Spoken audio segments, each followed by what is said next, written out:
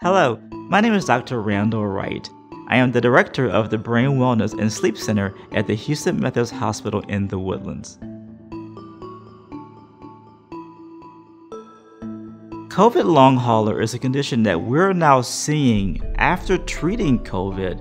And we really didn't expect to see this, but we're seeing that individuals who've had COVID and the symptoms may have been respiratory initially, but are starting to complain of other symptoms that include different organ systems, such as the brain with fatigue, even the heart and lungs.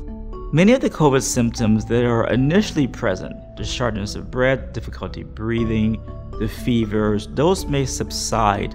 But after that, people start to develop different symptoms, such as memory problems. They call it just haze, this brain fog.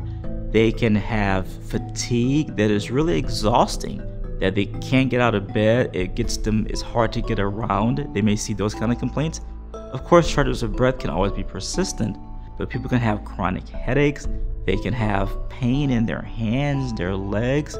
So, as we start to understand what occurs in a patient's body after COVID, it's helpful to understand what happens when you do have COVID. So, when someone first gets COVID, the virus infects the body.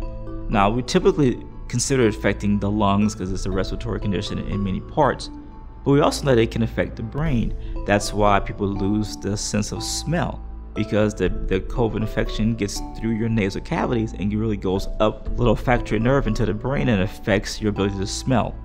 So when we look at a post-COVID patient or a post-COVID person who has this long hauler syndrome, it may well be the inflammatory component of the brain, the lungs, and even some of the other parts of the body that is driving the symptoms.